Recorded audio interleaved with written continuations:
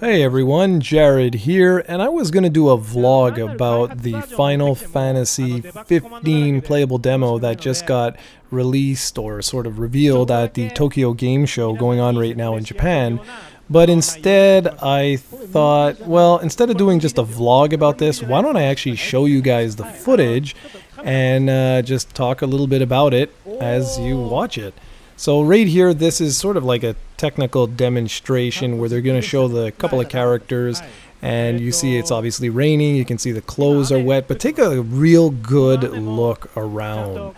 The hair looks absolutely sick. The clothes in particular, look at all the little details.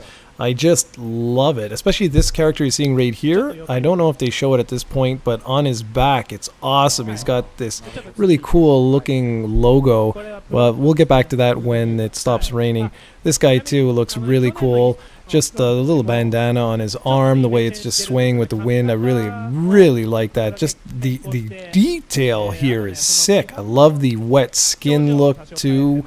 It's just uh, really, really impressive stuff. And the backgrounds with the buildings and just the lights you see there on the stairs, just amazing. This really impressed me. This this looks like a next gen Final Fantasy game, and I really hope that the gameplay holds up because the graphics are just absolutely incredible. I mean, just look at this. This is pretty damn sick, if I do say so myself.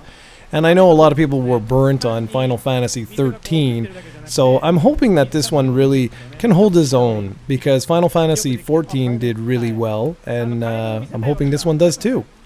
Anyways, you can see there, the puddle looks great, the little frog and classic little humor there. But I really like, see the way the drops are actually affecting the puddle and the ground, the pavement looks great. And they're going to shut off the water in just a few seconds here, and then you'll see what it looks like with uh, just basically the dry effects. And I, I personally think this looks absolutely amazing and I cannot wait till we actually get our hands on this, which now they're saying most likely won't even be in 2015, most likely going to be looking at 2016, which is a little unfortunate, but hey, if the game turns out, well, I'm, uh, I'm, I'm all for it. Delay a good game because a bad game is bad forever, as Miyamoto would say. So yeah, you can take a look here at the pavement. Looks great. Now we're gonna go back on this character. You're gonna go around the back, and you're gonna see his awesome uh, jacket, which is pretty damn cool. See, like it's just stuff like that. Like that looks really good. The tattoos on his arm look great. They're just showing you here. Basically, they're showing off. Is essentially what it is. And I was really impressed. I mean, as you can tell just by what I'm saying here, this this is the type of game where I want it to be good because I'm a huge fan of Final Fantasy, and let's be honest, the series really just it hasn't been in the spotlight for a long time. I know 14 did really well, but to a lot of console gamers, they're like, ah, it's an MMO, it belongs on PC, it's not the same. And a lot of people with the Lightning trilogy or the Final Fantasy 13 trilogy, they really felt like they got burnt. So I'm really hoping that this one brings it back to uh, to basically being a non-linear, really deep, kick-ass RPG experience. And I'm hopeful that that's exactly what'll happen. Okay, so here we go. We're going to finally start moving around. I love the red shoes. Every character underneath their shoes, it's red. Look at the cloth physics. See the way the, his actual, whatever, shirt or whatever moved there. I really enjoyed that. I thought that was sick. And the attention to detail in these buildings is just incredible. I, I was just floored. All right, and here you go. You can see what I'm saying. See the way the the uh, jacket is just slowly moving back and forth. It's little details like that that really always impress me. Now they're moving the lighting around just to show you that this is indeed in game. This is the real deal. This isn't some pre-rendered scene. Look at this. I mean, wow. This is so sick. I, I'm really, really impressed with this.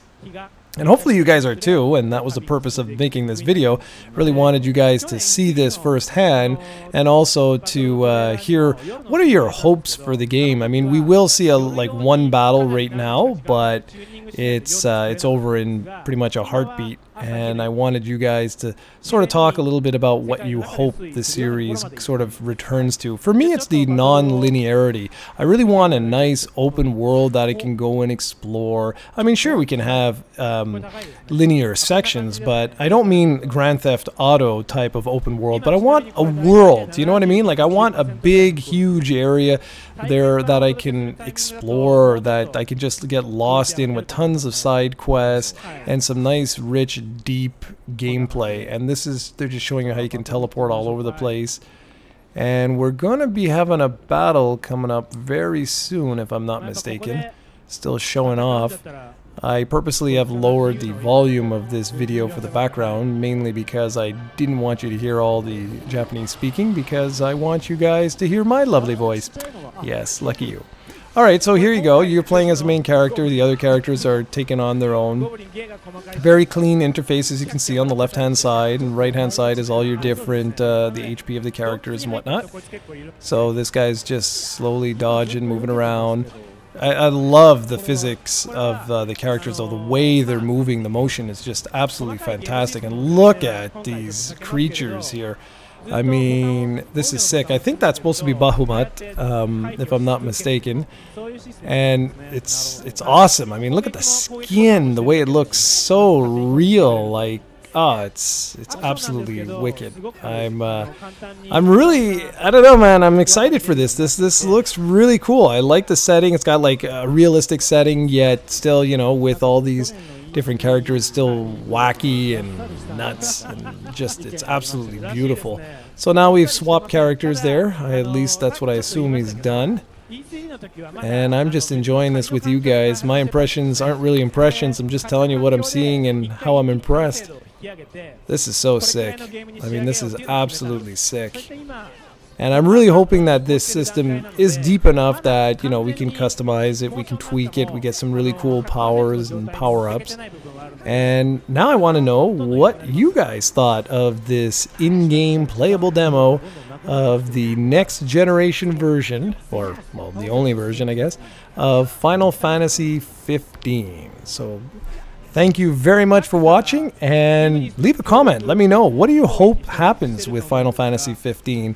I want to know some of your expectations, your hopes and dreams, and uh, what you think of the series as a whole. All right, guys. Thanks for watching. Catch you next time.